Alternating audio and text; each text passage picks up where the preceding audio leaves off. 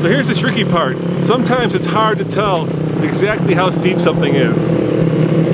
But when there's dirt bikes coming up this hill, you know that we're into some fun and serious Colorado off-road terrain.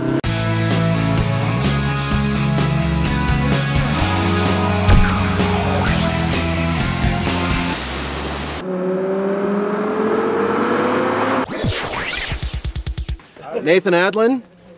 I'm the president of the Rocky Mountain Automotive Press Association, and welcome to the 4 x Fall, our first annual event where we're going to take a little bit of Colorado, a little bit of fall, and a little bit of off-roading, combine them together, and present them to all the riders who are in the Rocky Mountain region who deal with vehicles.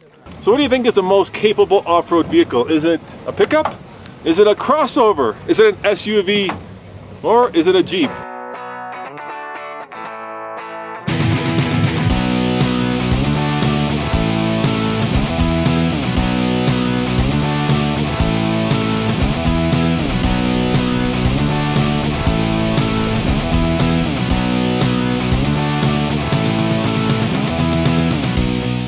Well, this is a great opportunity for us to, to get together with the journalists, take these cars into a setting, into an environment that the journalists don't typically get to take them into. And it shows just how capable, like the Nissan Xterra, Nissan Frontier, and even our Infiniti QX56 is in this type of setting.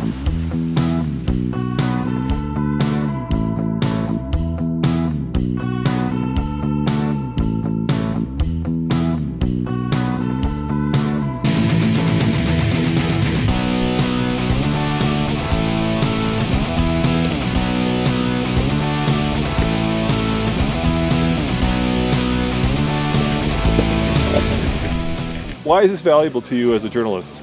Um, I would say this is valuable because you get to experience these cars in a setting that you might not otherwise get to experience it uh, out around town. So I think a lot of our the people that are buying these vehicles, they do take them out in these types of settings, and then there's some who don't.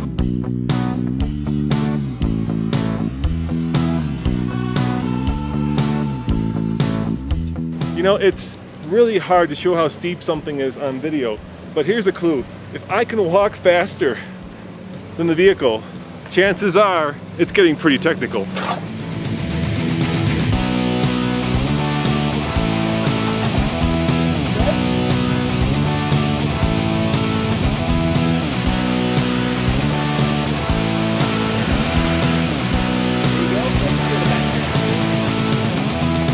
Full disclosure, you own a Jeep, and not just any Jeep, but a Wrangler. So you're driving some of the competition. How, I, uh, how does it compare to your Wrangler? I'll tell you, the Rubicon is a is an iconic vehicle. It's rugged, and comparing it to some of these other cars, um, definitely you get more uh, luxury and some uh, creature comforts with some of these other cars that are out here.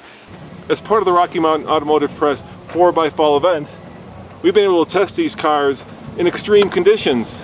And you know what? Not only are they crazy capable, but it's a lot of fun. See you guys next time.